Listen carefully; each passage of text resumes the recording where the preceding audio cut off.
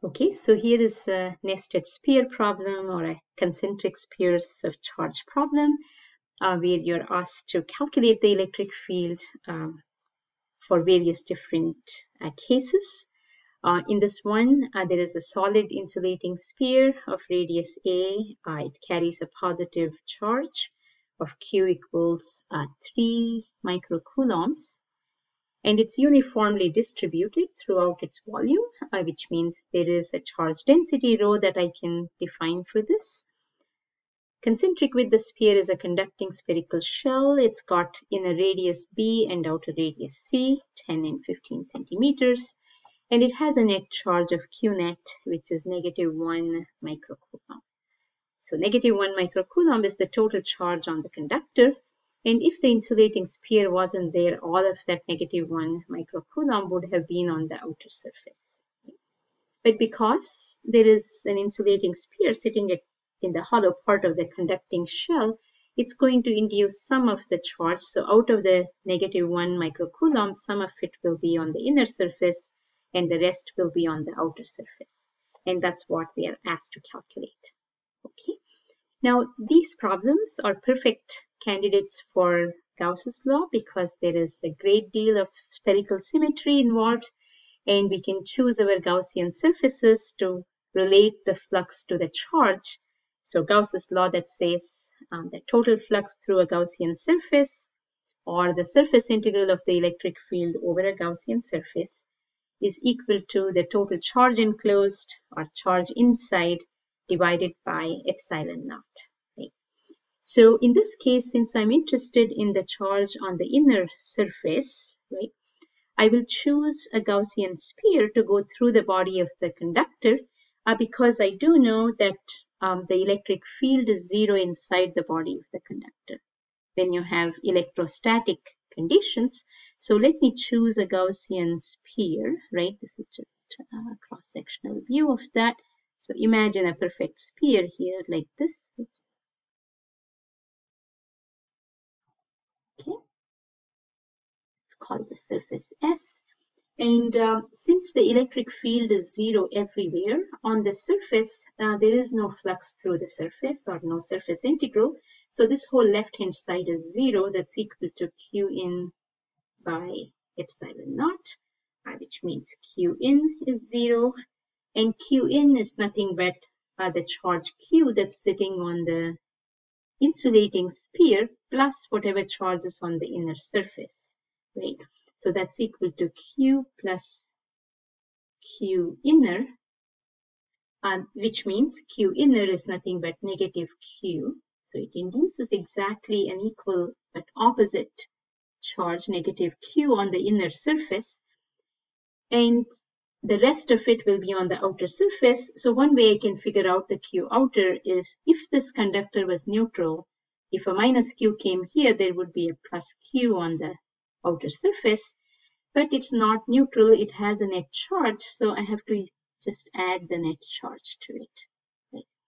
So charge on the outer surface is Q plus Q net, the total charge on the whole system, right?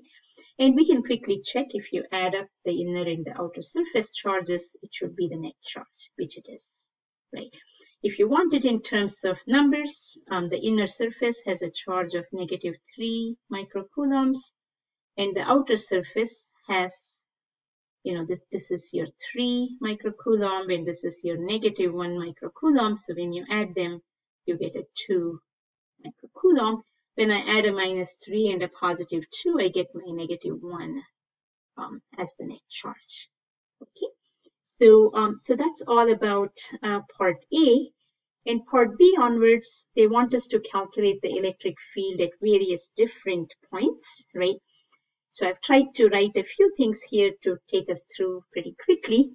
So, so here they want us to find the electric field inside the insulating sphere for R less than A in particular at r equals 3 centimeters. Remember, A is 5 centimeters. So, so your point P is somewhere here. I have drawn a little R here. I hope you can see. And what I want to do is to, uh, you know, if somebody says, get me the electric field at this point, I see that the electric field is radially outwards at that point. and there's spherical symmetry. So I want to draw a Gaussian sphere passing through that point, right? And let me see if this works. I'll try to see if uh, I can just get this Gaussian sphere. Yeah, perfect. So, so there's a Gaussian sphere of radius r. That's my surface S, right? It's my surface S. And in all these problems, you know, these are the steps that we'll do. So I'll show a few steps here. Later on, I'll, I'll cut it off a little bit. So, so this is integral uh, E dot dA. E is radially outwards. So is the dA vector, which is the outward drawn normal. So that's also radially outward dA. So E dot dA will just be E times dA times cosine 0 uh, that's equal to charge enclosed and charge enclosed is whatever charge is in here, right? So it's not all of Q, but it's going to be a fraction of Q? And uh, to figure out what that Q in would be, right? Uh, you, you can you can say it's the charge density multiplied by the volume that's enclosed uh, by the Gaussian surface. So I'll put a Vs here. That's the amount of charge in there divided by epsilon naught. Right?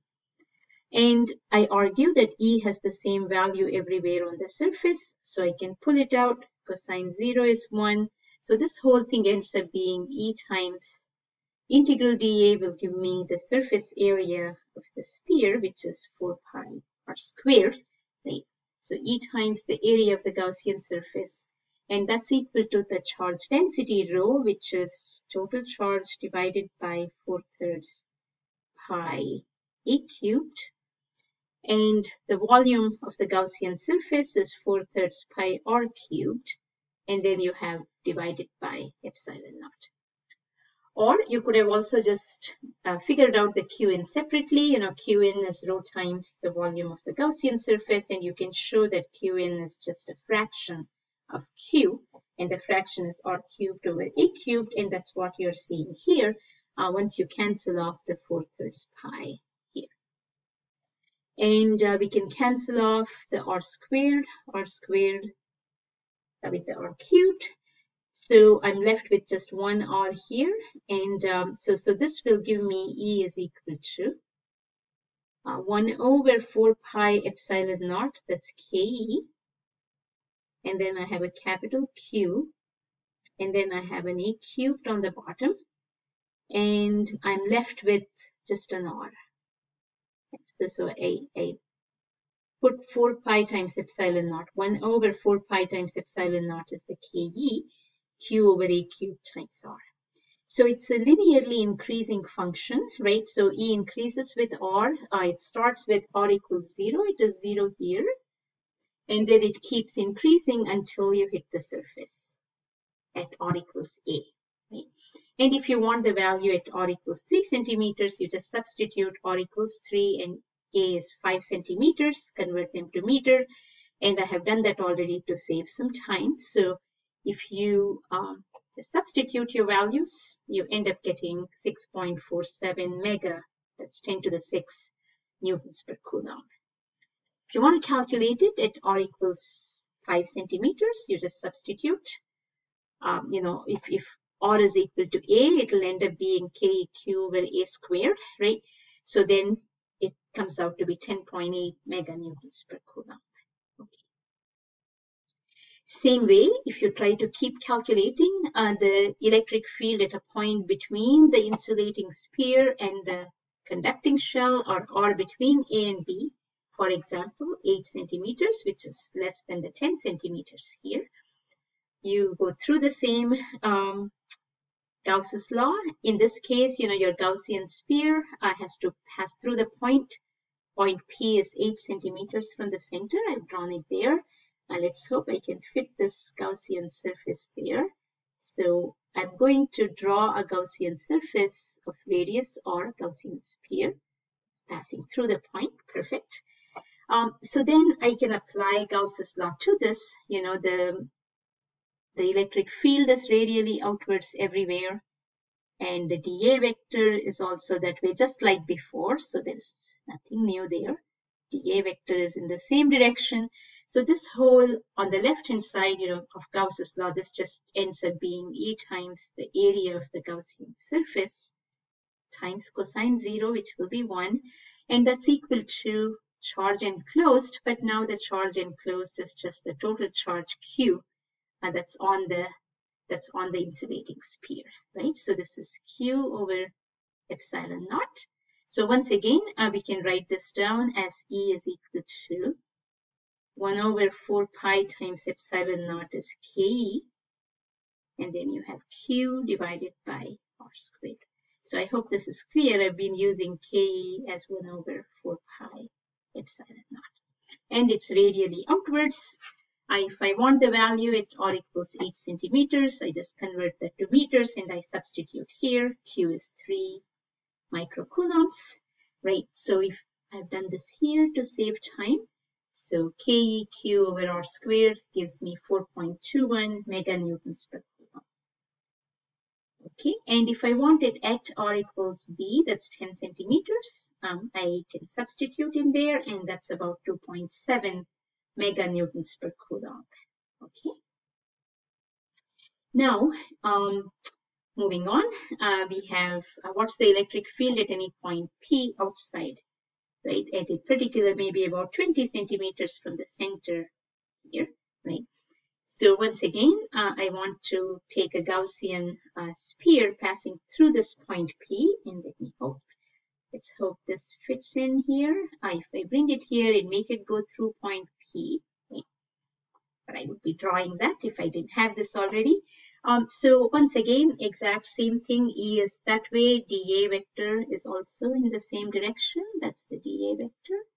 So E dot dA is E times dA. Uh, integral will just give you E times the area of the Gaussian uh, sphere, S. So that's 4 pi r squared. And in this case, the charge enclosed, if you look at it, you know, the charge enclosed is the total charge on the system uh, the q and the minus q, they cancel off. So you're left with whatever is on the outer surface, which is your q plus q net, right? So I could say my q in is either q outer, what is on the outer surface, which is also nothing but q plus q net. See, I could write either one of these, q plus q net divided by epsilon naught. So now I can say E is equal to, it looks like KE over R squared, 1 over 4 pi epsilon naught is KE, and Q is Q plus Q net divided by R squared. See, once again, radially outwards, if all of this is positive, right? In, in our case, it ended up being 2 microcoulombs. So, so this whole thing here, you know, this is the 2 uh, microcoulombs, right? That's the two microcoulombs. And if you want the R to be 20 centimeters, that's your 0.2 meters, you know, you square it, right? Um, and I have done this already here. So if you calculate it, you know, you see um, the electric field at 20 centimeters has dropped to 0.45 meganewtons per coulomb. And if I want it right at the surface, you know, the electric field is 0.8, approximately 0.8 meganewtons per coulomb. You see? So there is a discontinuity here, right? Uh, you see that the electric field itself is zero between B and C, but there is an electric field if you approach it from the left, and there is an electric field here if you approach it from the right. You see? So now with given all this information, they want us to draw a graph of the electric field versus distance. Okay, I have already kind of drawn it for us to save some time here. So um, as you can see, the electric field is um, increases linearly inside the insulator and in between there is a 1 over r squared dependence and then drops to complete zero in the body of the conductor and then it's 1 over r squared again, you know, outside of the um, conducting shell. And if I'm trying to draw all this uh, in the um, you know, draw the electric field vectors, uh, you can see that the field vectors is radially outwards, um, stops totally here, discontinuity is there, and then again it's radially outwards. Uh,